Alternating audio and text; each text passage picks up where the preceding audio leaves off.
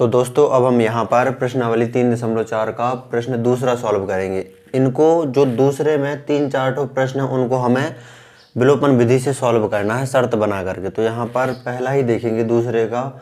यदि हम अंश में एक जोड़ दें तथा हर में से एक घटा दें तो भिन्न एक में बदल जाती है। यदि हर में एक जोड़ दें तो यह एक बटे दो हो जाती है। वह भिन्न ज्ञात कीजिए। तो हमें भिन्न ज्ञात करना है। तो तीन दशमलव तीन में भी हम इस प्रकार के प्रश्न सॉल्व कर चुके हैं, लेकिन वहाँ पर प्रतिस्थापन विधि से सॉल्व करना था। यहाँ पर विलोपन विधि से सॉल्व करना है हमें। तो यहाँ पर देखेंगे, हम भिन्न मान लेते हैं एक्स बटे वाई भिन्न मान ली हमने एक्स बटे वाई अब भिन्न में जो ऊपर वाला भाग होता है, वह होता है अंश और नीचे वाला भाग कहलाता है हर। ये आपको पता होना चाहिए। तो यहाँ पर शर्त देखेंगे। प्रथम शर्त, फ़र्स्ट शर्त क्या कह रही है कि यदि हम अंश में एक जोड़ दें तथा हर में एक घटा दें, अंश है एक्स तो अंश में एक जोड़ दें और हर वाई जो है, इसमें एक घटा दें, एक घटा दें तो भिन्न कितनी हो जाती है? एक में बदल जाती है तो ये एक।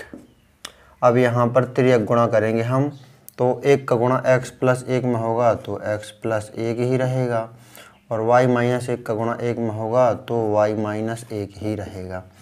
एक्स और वाई को एक तरफ़ ले आना है और बिना एक्स और बिना वाई वाली संख्या को दूसरी तरफ़ ले जाना है। तो एक्स इस तरफ़ ये ज्यों कहते हैं प्लस के वाई बराबर किस तरफ़ आएँगे? माइनस के वाई हो जाएँगे। प्लस के एक को बराबर के उस तरफ़ भेज देंगे तो माइनस का एक हो जाएगा। माइनस का एक ये पहले से ही है। तो यहाँ पर एक्स माइनस वाई बराबर माइनस का एक और माइनस का एक जुड़ जाएँगे तो हो जाएँगे माइनस के दो। माइनस माइनस की संख्याएँ जुड़ जाएँगी, चिन्ह रहेगा माइनस का। इसे हम समीकरण एक नाम देंगे। अब हम यहाँ पर दूसरी शर्त देखेंगे। क्या कह रहे हैं? दूसरी शर्त यहाँ पर, यदि हर में एक जोड़ दें, यदि हर में एक जोड़ दें, यानी हर क्या है? वाई है। यहाँ पर सेकंड शर्त देखेंगे। तो सेकंड शर्त है, भिन्न का जो है, भिन्न है एक्स बटे वाई तो हर में एक जोड़ दें हर कहलाता है नीचे वाला भाग। तो एक जोड़ दें हर में तो भिन्न कितनी हो जाती है? एक बटे दो। तो यहाँ पर एक बटे दो हो जाती है भिन्न। इसको हम सॉल्व करेंगे तो यहाँ पर त्रियक गुणा करेंगे। तो दो का गुणा एक्स में होगा तो हो जाएगा दो एक्स वाई प्लस एक का गुणा एक में होगा तो रहेगा वाई प्लस एक ही। वाई को बराबर किस तरफ़ ले आएँगे हम? तो दो एक्स प्लस के वाई बराबर किस तरफ़ आए माइनस के वाई बराबर में एक जो कहता हूँ इसे हम समीकरण दो नाम देंगे। अब समीकरण एक और समीकरण दो को हम विलोपन विधि से सॉल्व कर लेंगे। तो यहाँ पर हम विलोपन विधि से। तो दोनों समीकरण हम उतार लेते हैं पहले एक और दो को यहाँ पर। तो ये हमने समीकरण एक उतार लिया एक्स माइनस वाई बराबर माइनस के दो। और ये हमने दो एक्स माइनस वाई बराबर एक, ये हमने समीकरण उतार लिया अब हमने विलोपन विधि से सॉल्व करना है तो हमें एक्स के या वाई के मानों को विलोपित करना होता है तो हमें यहाँ पर गुणा करने की आवश्यकता है नहीं। एक्स के या वाई के मानों को देखेंगे तो किसी एक मान को हमें बराबर चाहिए होता है तो वाई के मान यहाँ पर बराबर हैं।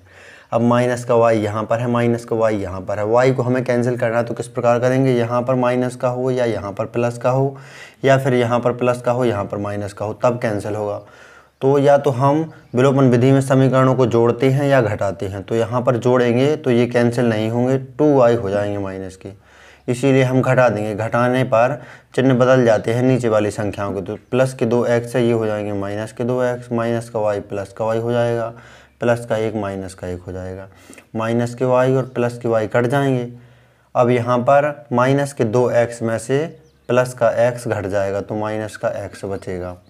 और बराबर में माइनस का दो और माइनस का एक जुड़ जाएगा तो माइनस के तीन हो जाएँगे। माइनस से माइनस कैंसिल हो जाएगा। एक्स का मान कितना आ गया? तीन।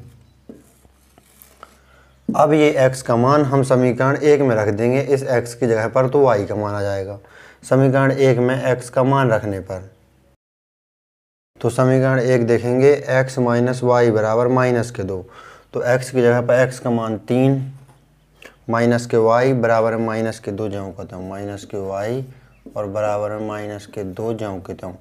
अब यहाँ पर माइनस के दो को बराबर के इस तरफ़ ले आएँगे और वाई को बराबर के उस तरफ़ ले जाएँगे, क्योंकि हमें वाई का मान निकालना है तो तीन ये ज्यों कहते हूँ, माइनस के दो बराबर के इस तरफ़ आएँगे तो प्लस के दो हो जाएँगे, माइनस का वाई बराबर के उस तरफ़ गया तो प्लस का वाई हो जाएगा, तीन और दो जुड़ जाएँगे तो वाई का मान कितना आ जाएगा, तीन और दो पाँच। तो x का मान आ गया तीन और y का मान आ गया पाँच। भिन्न मानी थी हमने x बटे वाई अतः भिन्न। x का मान कितना है? तीन। तो तीन बटे वाई का मान पाँच। तो भिन्न हो जाएगी तीन बटे पाँच, अतः भिन्न तीन बटे पाँच है। ये हमारा आंसर है। तीन बटे पाँच इस प्रकार, x की जगह पर x का मान रख दिया तो तीन ऊपर हो गया, बटे y की जगह पर y का मान रख दिया तो पाँच हो गया। तो तीन बटे पाँच हो गई भिन्न। तो इस प्रकार आपको प्रश्नावली तीन दशमलव चार का, प्रश्न दूसरे का पहला सॉल्व कर लेना है। यहाँ पर दोनों समीकरण आपको बना लेना है, फिर विलोपन विधि से हल कर देना है। तो इस प्रकार आपको इस प्रश्न को अच्छी तरह से सॉल्व कर लेना है, परीक्षा की दृष्टि से। बहुत अधिक महत्वपूर्ण प्रश्न है ये। तो नोट कर लीजिए आप यहाँ पर प्रश्न दूसरे का पहले को। यदि आप संपूर्ण कक्षा दस एन सी गणित को हल शायद देखना चाहते हैं तो डिस्क्रिप्शन ज़रूर चेक करें। हमने संपूर्ण कक्षा दस एन सी गणित को हल कर दिया है। तो यहाँ पर आप देख लीजिए डिस्क्रिप्शन और नोट कर लीजिए इस यहाँ पर सवाल को।